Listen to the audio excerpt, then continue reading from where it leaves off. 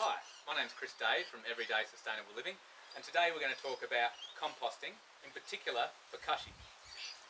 What is composting? Composting is the breakdown of organic matter, the decomposition of organic matter with fungi and microbes and bacteria acting upon these and breaking them down into humus-like particles. Nice, what I call black gold or liquid gold compost for the soil and for the plants. Compost is basically the building block of soil fertility and for plant health and our health. So if we eat healthy plants, we are then in turn healthy. Bokashi is a composting method slightly different than your traditional composting forms where you're aerobically breaking things down in, in piles or bins.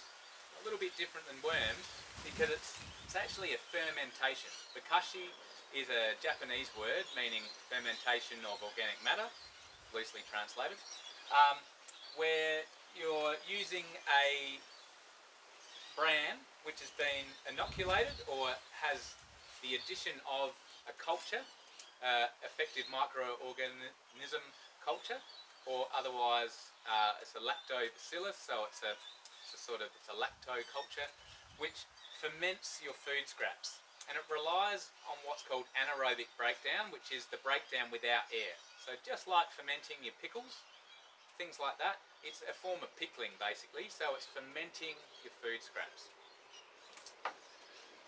There's a few different ways we can do bokashi, but the, the thing that doesn't change is you need some sort of bran mix which has been inoculated with the special microbes that help your food scraps ferment can get that from hardware stores, online, or you can even find info on, online and in your local area of how to make it yourself.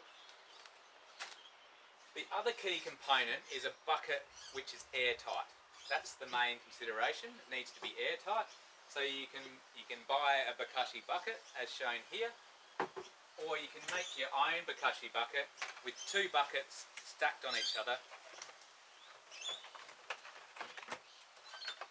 and you drill holes in the bottom, a whole heap of small holes, about one or two millimeters wide with your drill, and you stack that on top. That needs to be a nice tight fit, and you could add a tap in there so you can drain off the liquid, or you can do that manually. The, the main thing is that it's airtight and this lid is nice and tightly sealed on there. With your commercial bokashi buckets, the lid seals really nicely. And peel that off, inside there's a grate. So there's about the size of the holes if you're going to make them yourself. That grate sits on a little ledge in the bucket so that allows any excess nutrient uh, any excess nutrient and liquid to drain out of your food scraps into this little reservoir and then you can drain that off regularly and utilise that, which we'll go into a bit later about how, but that's, that's where it drains out. So you can use that as a type of fertiliser. Now, there's a few key tri tricks. It's, I guess, in some ways one of the simplest forms of composting. There's not a lot of detail with it, but the main thing is you do need this. When you start off, you need to add a layer of your bokashi mix and then add your food scraps. So we're going to get another bag over here that's open. Different company, same thing. You can have a little measuring scoop or you can use your hand, it's up to you. But a bit like composting where we add a layer of carbon at the bottom to help absorb the moisture, adding a layer of the bokashi brew at the bottom will also help soak up that moisture. So I've just put a few handfuls in there. Then we add our veggie scraps. In here, I've got lemons. Unlike worm farms, bokashi is nondescript. It loves lemons, it loves small bones, it loves garlic, things like that. And then your general uh, food scraps like beans and trimmings and carrots and all that sort of stuff. Uh, it helps if you cut them up smaller. You don't have to, but it will break down quicker if you take that time, I use my secateurs for everything. Not everyone keeps their secateurs on their pouch, but I pretty much do everywhere. If you don't have a secateurs in your pouch, you can just quickly chop your veg up on the bench with a knife. So we chop them into nice small layers and we tip them in.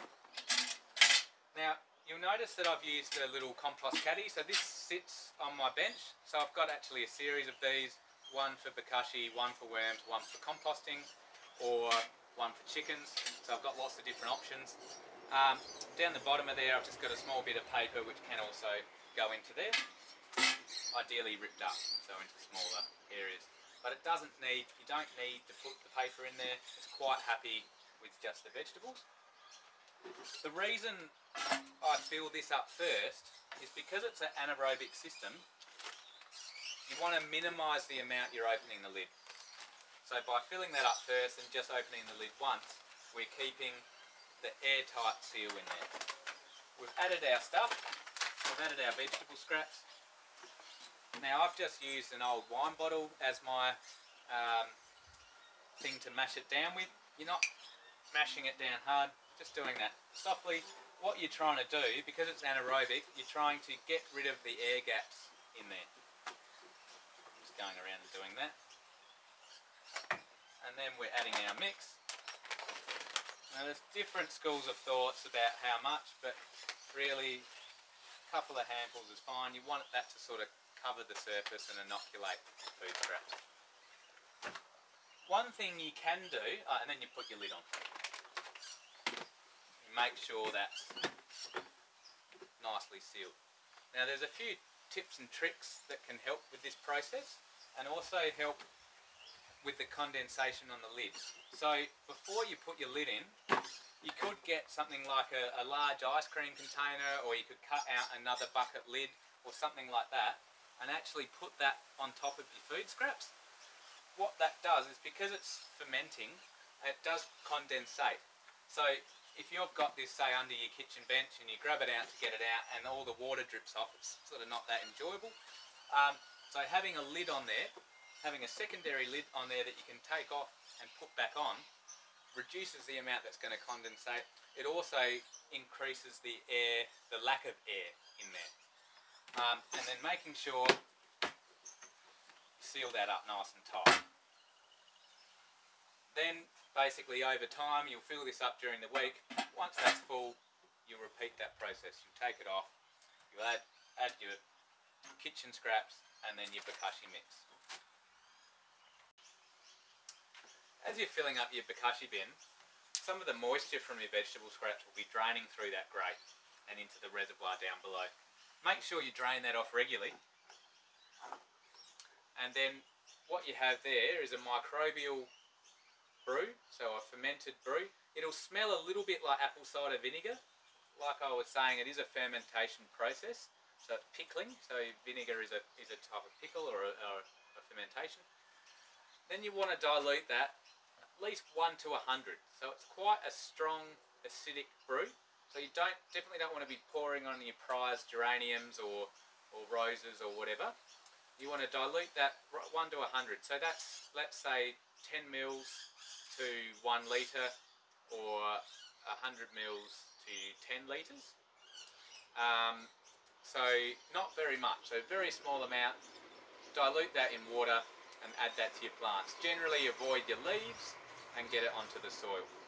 So that's stimulating the, the um, beneficial microbes that are coming out of here and then getting them into your soil.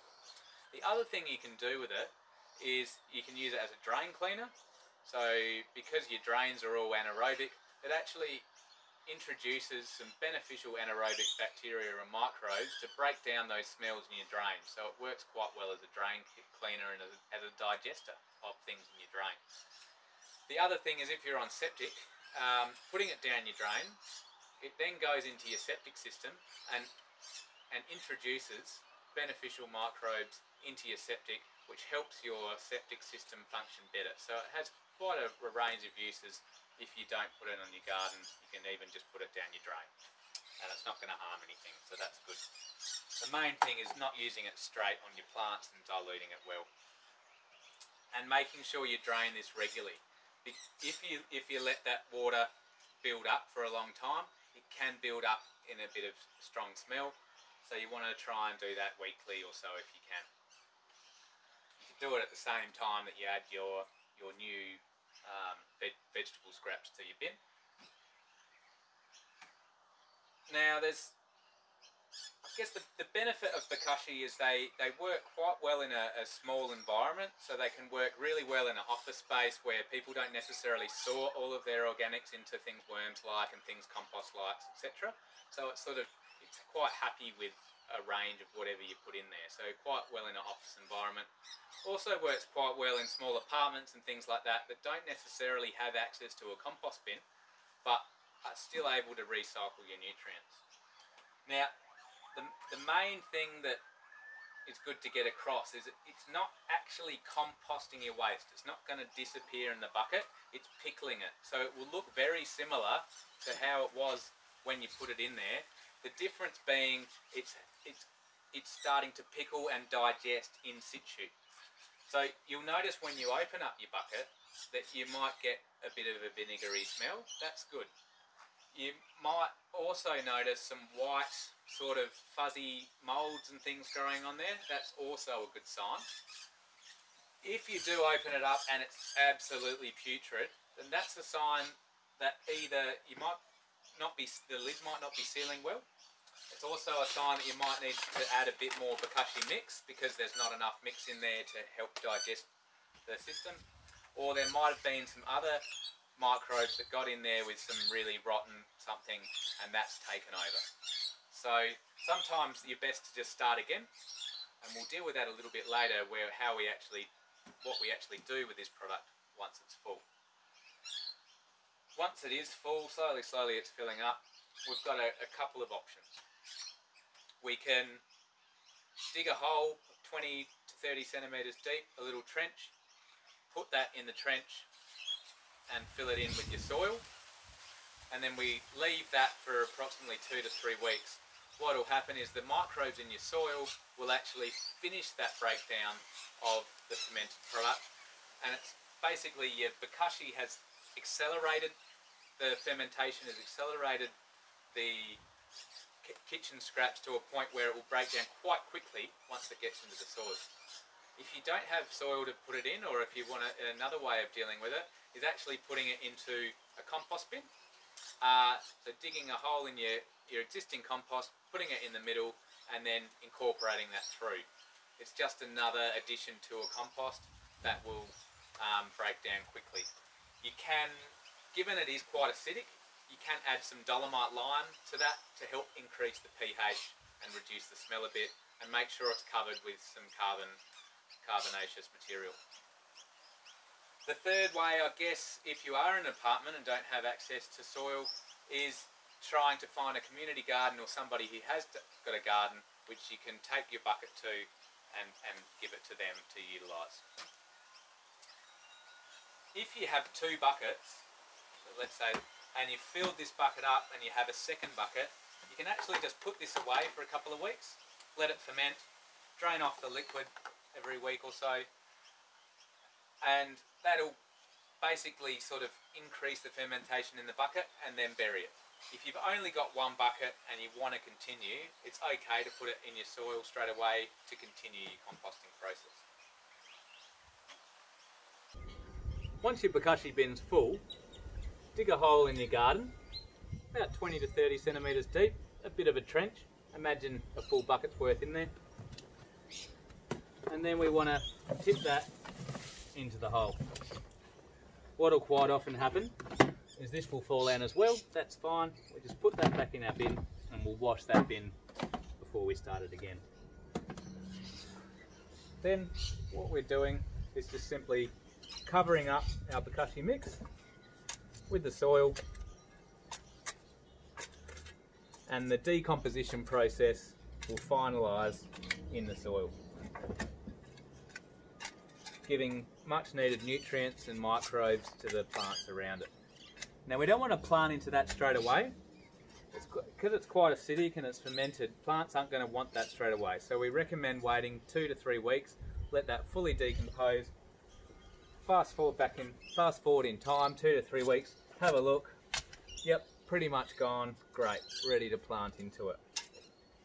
You can also, if you only have a small space like this, and to bury it, you can mine that compost out and put it in different spots of the garden. But I recommend generally if you can just bury it and then plant into it, it's obviously easier. Now, some people have issues with things getting in there and digging it up, especially if you're putting bones and things like that in there that are quite interesting for a dog or a cat. So a simple method, similar to compost bins stopping the rodents getting in them, is we just get a piece of wire and a couple of bricks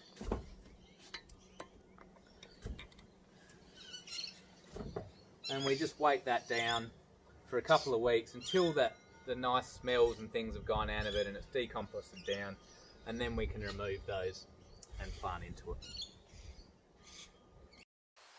As you can see, bokashi is as easy as one, two, three, four. Add your bokashi mix, add your kitchen scraps, add your bokashi mix, put your lid on, drain your liquid off, dilute that 1 to 100 to use on your garden or your drains. Fill it up, let it ferment, bury it in the soil, and it continues to compost and enrich your soil once it's in your soil.